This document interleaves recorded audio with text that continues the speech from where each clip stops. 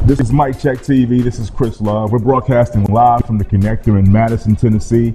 Uh, I've got a very special guest in the building with us. I've got the lovely, the talented Miss Angie Steele from Let's Talk Blog. Hey guys. All the way from Memphis, Tennessee. She actually just drove up here this morning, and I wanted to talk to her today about blog talk. Okay, well, let's talk about this blog talk. Well, first of all, let everybody know a little about you, Angie. You're from Memphis, right? Yes. You started this blog talk just a, maybe a few years ago, maybe a year or so ago. Mm-hmm. What inspired you to start the show? Oh my gosh. First of all, uh, it was all about inspiration at first. And uh, then I got on YouTube and realized that, hey, you can make money doing this. I Yeah. thought I had the personality, and uh, I had just lost my mom. She died all of a sudden on the 4th of July. Thank you. And um I used it for inspiration at first, and then it just got better. I'm like, you know what? Let's start a talk show.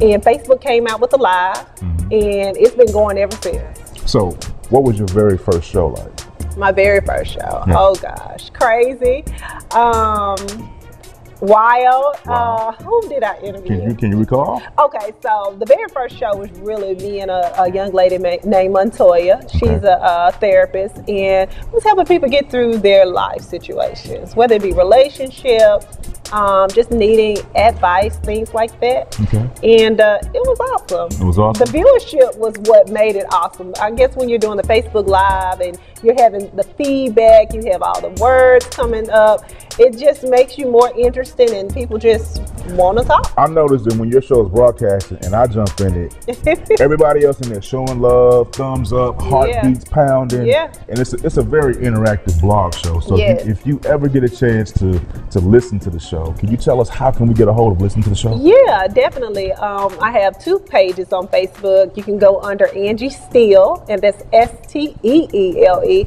or you can Google or search it out on Facebook under the Let's Talk blog, V L O G. Let's Talk Blog. When I think about Let's Talk Blog, because one of the subjects you were you were in a spa Oh yeah. In Memphis. Oh yeah. You and, remember and, that and? Angie was wilding out in the spa. I was not. I She was, was on getting getting her massage thing going on. She had to. What you have on your face? Okay, First of all, okay, uh, yeah, it was a live vlog, Okay. and I was at the spa, and uh, and shouts out to Big Cypress Spa. They're one of my sponsors. Um, they just opened up at the Pyramid, Okay. uh, which is the Bass Pro Shop. Right. Um, yeah, I had my little towel on and my hair was wrapped up. At that time, I had hair, y'all. had my hair wrapped up, and um, we were talking about the services, but they were treating me, treating me to a new, um, nice massage and a facial. She didn't have the cucumber eye patches on though. I did not. Yeah. I, I, you need to see my eyes. I like the show because the show was fully interactive. She was here earlier broadcasting live Yeah. uh, with, with, with Cabin Love, and she had so many people interacting with the show. It was amazing. So, I talked to you on the uh, on Facebook. Messenger. I met her Facebook Messenger, believe it or not. She saw Cabin's video and she was excited about it, and I she wanted to come up and interview him. So, shouts out to Angie for doing that. Oh, thank you. Because a lot of people in the in the industry locally, they say they'll do something, but sometimes they don't always meet that expectation. So, shouts out to you. Thank you so much. Um, where do you see the show going, Like, as far as what is your final goal for the show? Actually, you know what? Um, I think we were talking about this earlier. This is just really practice. Um, I get to work on my public speaking, um, but I want my own show, and it's going to happen. I feel it. Uh, it's it's like I don't like to say the universe, but I feel like God is leading me down that path. Right. And I'm meeting the people, and sometimes you have to take opportunities that um, are coming your way, and this was one of them. I'm like, yeah, let me roll down 40. So if we if we invite you back to come back and do more, you'll do more, right? You already know. Oh, I love it. I love it, Angie. Who were your biggest influences, like getting you to this point? Uh, my mom, my mother. My mother used to always tell me to uh, Angie be the light in dark places, and Angie go be great.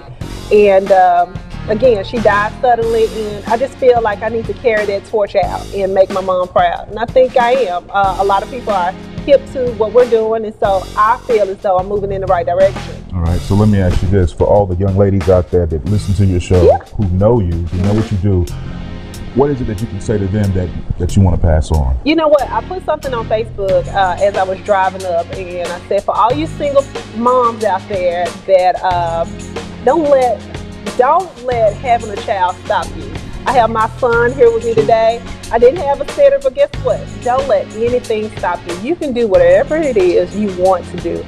Um, I believe in roles, but I'm gonna stay in a woman's place. But and, and, you may ask me what's a woman's place, but we can talk about that outside of this. But um, I just believe in just working towards your dreams, whatever it is, you can do it. I see a lot of that chatter on social media when it talks about the single mom meeting the new guy, and some of that guy's expected obligation to that relationship if they become. We don't talk about it. Right, Oh, right? Lord. So, Okay. because I, I have a perspective like if you're if you're with someone and you're in a relationship with someone Yeah. and they have a child, basically you have to love both of those Yeah. counterparts. You have to love both of those individuals and respect them the same, and kind of take on that adoptedness Yeah. of, of that of that child as well. Is that is that something that you see is happening a lot, or is it the opposite of that? Well, first of all, um, Come on, Angie. not in a relationship, but I feel as though you have to, uh, if you want to be with somebody, you have to take on uh, a role, especially if you're calling yourself loving someone. But if it's from a friendship standpoint, then that's a little bit different. You're just friendly, right? Right. But if you're loving someone, then of course you're um, pulling in and reeling in what you want. Right. Because you're setting a different tone for the relationship. What I've noticed is most ladies they take time before they introduce that new person Mm-hmm. to the child. Okay. Hopefully, hopefully. So that so that's what I, that's what I'm kind of like getting at. It just takes time for you to introduce whoever the new person is going to be Mm-hmm. in your life to your to your child. I think that it's important to, to kind of really and slow. I think that maybe they may see the person that's differently from interacting with the child. Right. Does that make sense? Yeah, it's- it's like they may see you, they may see you pick me up, but that don't mean you interacting, Interacting with with the kid. right. don't mean they really know your name. This is true. But um, like I said, it's all about building relationship, and uh, I think once two people decide that something is right for them, then they begin to participate a little bit more and differently with the kids and with the, the other person. Does that make sense? That makes total sense. Okay. this, this is the hot fire that you get from the Let's Oh, Talk. Gosh. I This mean, is I, I, not I, hot this fire. is this is what what is hot fire? Well, uh, well, I was gonna put it some other way, but Oh, this is that volcano that you guys This get. Yeah. volcano. okay. I love your show, Angie. Um, Oh, thank you. who are, who are some of the guests that you expect to have on the show? Oh yay! Okay, so I have uh, Cara Powell. We're going to talk discuss the Wait. I don't know if you've read that book. It's by Devon Franklin and his lovely wife, actress Meagan Good. And after that, we have the Brow Bay, one of my biggest sponsors. Mm-hmm. Uh, this girl is doing it up when it comes to the brows and lashes. Uh, and then I think I know I'm booked up, but I cannot tell you everybody after that because my sponsorship has been growing so fast and that. so well. Yes. Putting out the sponsors. Um, I think it's great that I have a secret to success. You guys will have to just book me to find out. She got- yes, got I got the secret. secret. Okay. Yeah. So, uh, but we have a host of people coming up. I just suggest that you guys follow my page on Facebook, Let's Talk Blog, or you definitely can follow me under Angie Steele. You heard it from the queen herself.